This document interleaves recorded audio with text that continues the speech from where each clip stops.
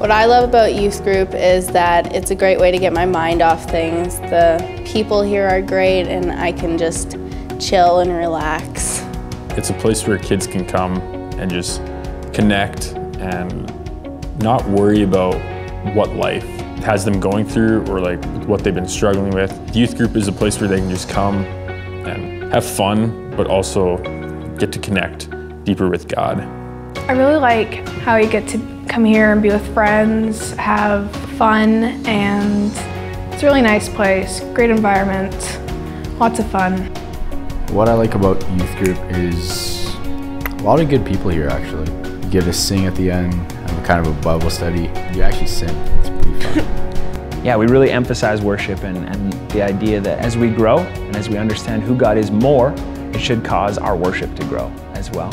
I think people should come to youth group because Pastor Kenton is amazing and all the leaders.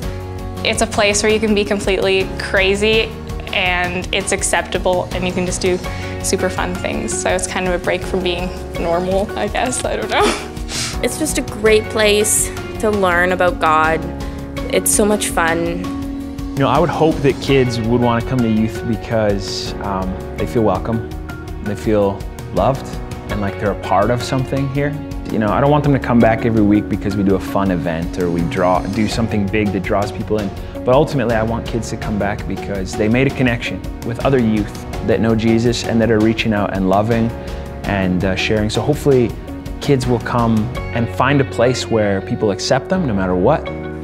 Come to youth group. It's so much fun. Come to youth group. Uncle Sam wants you at Mount Olive Youth Group. Hey, we would love you to come out to youth tonight. What are you doing? Hey, I don't care what church you go to or if you even go to church, you are welcome at Mount Olive Youth and we want you to come.